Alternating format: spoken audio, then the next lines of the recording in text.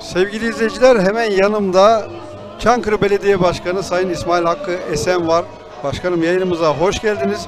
Çankırı'dan nelerle geldiniz? Stantınız da var bol bol da. Hoş bulduk. iyi yayınlar diliyorum. Neyle geldik? Yaptığımız Çankırı'daki hemşehrilerimize, buradaki hemşehrilerimize, misafirlerimize Çankırı'da yaptığımız projelerimizi gösterdik. Bazen görsel, bazen minyatürleriyle beraber. Tabii üretken belediyecilik anlamında neler yaptık. İşte geçen yılda yapmıştık. Buğdayımızı ürettik, onu una çevirdik. Dargelili ailelerimize dağıtıyoruz. Onların numunelerini getirdik. Yağlık ay, çekir, e, ay çekirdeğinden ürettiğimiz yağ numunesini getirdik. Kabak çekirdeğimizi getirdik. Tabi olmazsa olmazımız tuzumuzu getirdik.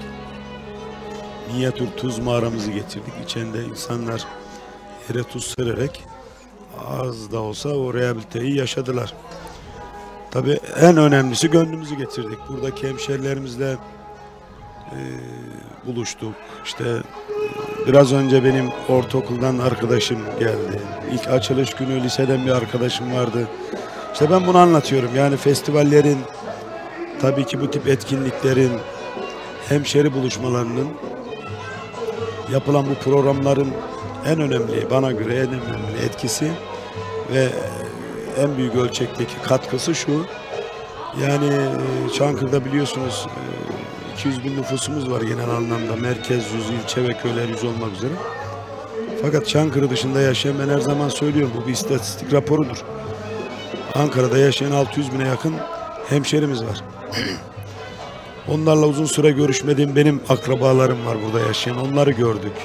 Torunlar olmuş. Yani onları bir hemşeri Yani- buluşması gibi bir şey oluyor. e, bu çok önemli. Yani Çankırı'nın tanıtımı tabii ki çok önemli. Ankara'da Ankara nüfusunu oluşturan Türkiye'nin dört bir yanından gelen yerlisi dışarıdan gelenler Çankırı gibi göç vermiş illerden gelenler Red Çankırı'mızı tanıtmak çok önemli ama benim için en az o kadar da önemli olan burada Çankırı hemşehrilerimizle buluşarak hasbihal etmek, özlem gidermek. E, bu da önemli diye düşünüyorum. Peki tabii siz e, Tuz Festivali de bu, bu sene de çok e, coşkulu bir şekilde Evet, geçti. yoğun geçti. Bu festival e, deneyiminiz de var. E, nasıl dönüşler alıyorsunuz? Nasıl dönüşler aldınız? Yani e, bunu benim demem doğru olur mu bilmiyorum ama bana göre bu yıl yapılan en büyük iller arasında yapılan en büyük 3 festivalden bir tanesiydi. Geçen yıl ilk 5'teydik, bu yıl ilk 3'teyiz. İnşallah bir olacağız. Çok büyük dönüşler alıyoruz. Yani Çankırı'mızı işte hep bir tabir var ya Çankaya mı değil mi filan? Ankara'nın ilçesi mi filan diyen insanların bugün Çankırı'nın bir il olduğunu, e, dünyanın en büyük rezervine tuz anlamında sahip olduğunu, Çankırı dediğimiz zaman Tuz Fest mi, Tuz Fest dediğimiz zaman Çankırı mı ikisini birbirine pekiştirerek bu anlamda Çankırı'nın tanıtım anlamda çok büyük katkısı oldu. Hatta kaçırdık. Geçen yıl geldik, bu yıl gelemedik. Bugün bu yıl daha da muhteşem olmuş. Yani buna hayıflanan, üzülenler de var. İnşallah seneye Allah nasip ederse çok daha büyük bir kalabalık yoğunlukla ulaşacağız. Bu ilki tuz mağarasına daha önce de ifade ettim. Yani kişiyi ayırmazsanız ferdi her birini ayırmazsanız belki üç kere beş kere girdi ama bir milyon ziyaretçiyi içeri sokabildik. Bu önemli bir rakam. Ee, konser etkinliklerinde diğer etkinlikte ama özellikle ikinci gün yüz binleri aştık ee, izleyici anlamında. E, bu bizim için gurur verici. Çankırı'nın tanıtım anlamında çok büyük, çok büyük bir katkı sağladığını düşünüyorum. Tabii akabinde ilçelerimiz de yaptı bu festivalleri. Onlar oradan biz merkezden Çankırı'nın adını yedi düvele duyurmak için elimizden geleni yapıyoruz. Bu neden önemli?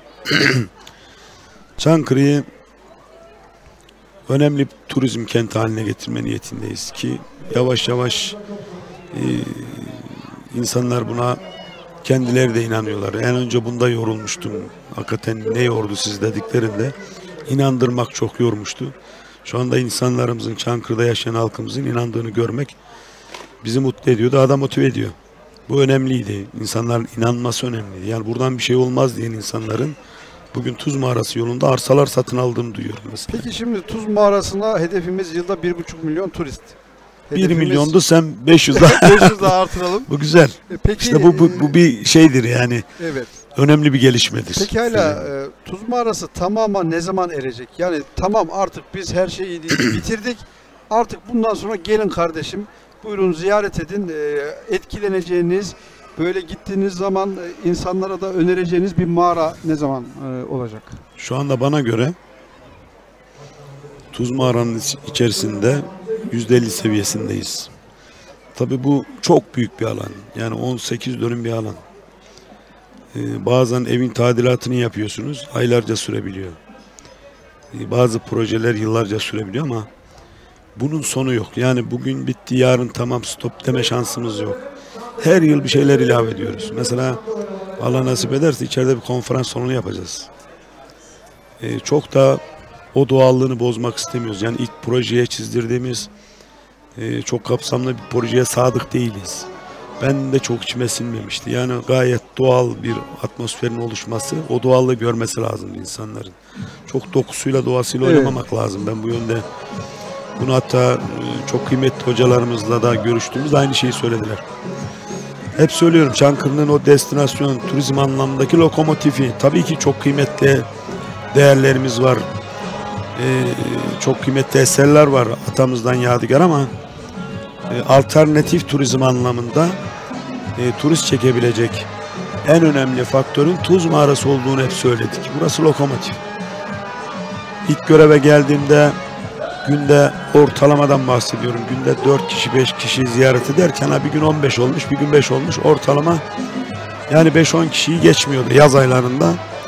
Bugün günlük ziyaretçi sayımız ortalama 450. O, çok güzel. Bakın 10 katına çıkmış. Bunu anlatmaya çalıştım. Yarın 4500 olacak. Ya 1 milyon hedefi çok kısa sürede gerçekleşecek. Tabi bununla bitmiyor. Bunun için hep söylediğim bir şey var. Altyapısını oluşturmanız lazımdır. Bu nedir? Geldiği zaman Çankırı'ya tuz mağarasını görüp gitmemeli. Gastronomi çok önemli bir şey. Şehrin içinde kalmalı. Şehir içinde kalmalı. Yani tuz mağarasını ziyaret etti. Burada ne yenir? Ne içilir? Bunu mutlaka soracaktır. Bizler de soruyoruz. Gastronomik turizmi anlamında da çok büyük gelişmeler kat ettik. 16 tane ürünümüze coğrafi işaret aldık. Bunların yöresel konağımızda satışlarını yapıyoruz. Bazı özel işletmelerde satışları yapılıyor, ürünler üretiliyor. E, bu çok önemliydi. Altyapıdan bir tanesi bu. İkincisi konaklama. Orada bir sıkıntılarımız var şu anda. İnşallah ilerleyen süreçte de onu çözersek. Yani şunu söylüyorum Ercan Bey, bu zamanla olacak şeyler bunlar. Tabii ki bugünkü ziyaretçi sayısı 10 katına 15 katına çıktı belki ama bizim altını doldurmamız lazım altını. Evet. Bunun içinde tur firmalar hala geliyorlar. Ufak tefek başladık biz faaliyetlere, e, görüşmelere. E, ben çok umutluyum. Şey göreve başladığımda da umutluydum. Cenab-ı Allah bizi mahcup etmedi ve doğru yolda ilerlediğimizi biliyorum. Tabii Çankırı ile bitmeyecek. Ilgaz, Atkaracalar, Bayramdören. Birbiriyle bağlantılı. Aynen o destinasyonu oluşturacağız. Tabii e, programımız da var. Çok tutmak istemiyorum. Kısa bir güncel olduğu için son bir sorum daha olarak kent meydanının temeli atıldı. Birincisi kent meydanı ne zaman tamamen hizmete açılacak? İkincisi de iki kat deniyordu. Şimdi katın bir kata düştüğü, bir, bir buçuk kat olduğu söyleniyor. Bu neden kat sayısı düştü? Şimdi eee, çok kıymetli bakanımız bana tek kat yap dediğinde ben ısrarla iki kat yapalım Sayın Bakanım demiştim. Orada yetmeyebilir. Evet. Eee, ama tek kat neyse ikna ettik. Biz iki kata çıkarmıştık. Ve ilk projemiz iki kattı bizim. Yani bunu maliyetten kaçtığımız için değil. Biz oradan artan maliyeti o yarım katı eksilttiğimiz için biz güvenlik kat sayısını ilave ettik. Yani bugün atıyorum rakamı 10 liraya mal olurken çift kat olursaydı 12'ye mal olurken biz 12 yine harcıyoruz. Yani 156 milyon KDV dahil biz harcıyoruz birinci Evet. etapı. Güvenlik kat sayısını arttırdık. Yani 10 ton demir gidiyorsa bugün 13 ton gidiyor. Yani 9 şiddetinde 10 şiddetinde depreme dayanıklı bir, şekilde. bir yapı oluşuyor. Kaçtığımızdan değil, zeminden korktuğumuzdan. Şimdi boş bir alan olsa 4 metrede su çıktı biliyorsunuz. Orada Evet. bir e, deneme kazısı yaptık biz. E, ama olmadı yani 4 metreden su çıkınca tabii o ana hatların geçtiği kara, yolların altı var. Evet. Çevre şe- şehir içindeki yolların altında ana hatlarımız var. Korktuk bunları e, sıkıntı veririz, zarar verebiliriz diye. Zaten su sıkıntı yaşıyoruz. E, kargaz, doğalgaz, telekom hepsi altında. Bundan çekindik.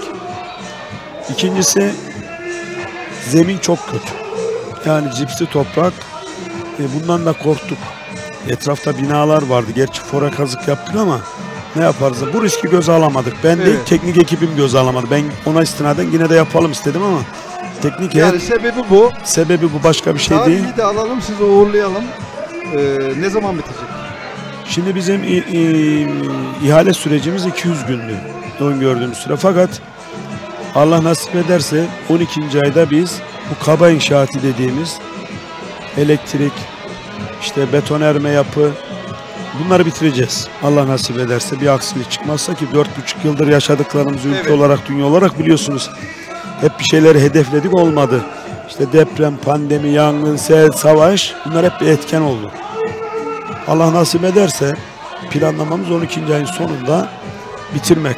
Kaba inşaat dediğimiz bu 156 milyonluk ihalesini yaptığımız projenin bitimi 12. ayın sonunda bitireceğiz. Süre Mart'ta aslında. Ondan sonra peyzaj ve sanatsal yapılara geçeceğiz. O baharda mı olur veya hava şartları müsaade ederse biz bunu 3. aya kadar da bitiririz diye düşünüyoruz. Hedefimiz bu. Yani bizim 3 ay 4 ay geçen bir projemiz olmadı. Büyüklüğü ne olursa olsun. Çok şükür bitirdik. Bunu da hedefimiz bu. Ama bu sürpriz olsun. Biz Mart diyelim ama 12. ayda hedefimiz bitirmek. İnşallah. Çok teşekkür ediyorum. Şehre çok büyük bir katkı sağlayacak. çok şek- teşekkür ediyorum. Rica vakit ederim. ayırdığınız Ben teşekkür ederim. Son sözlerinizi alıp sizi uğurlayalım. Valla ben e, şöyle söyleyeyim. Her gittiğimiz etkinlikte, festivalde, fuarda sizleri görüyoruz. Çankırı'nın çok büyük bir katma değerisiniz. Teşekkür ediyorum. Sağ olun. Bu anlamda bize bir fırsat veriyorsunuz. Çankırı'nın tanıtım anlamda yerel yöneticiler, genel yöneticiler, sayın valimiz çok önemli yer alıyor bizler. Ama tabii bunun ne kadar sesimiz duyurabiliriz Allah razı olsun. Sizlerin sayesinde ederim. Ben Sağ bu olun. anlamda da size çok teşekkür ediyorum. Çok ben de size teşekkür ediyorum. Sağ olun. evet, e, sağ olun. Ee, Çankırı Belediye Başkanı Sayın İsmail Hakkı Esen konuğumuzu kendisine teşekkür ediyoruz. Röportajlarımız devam ediyor.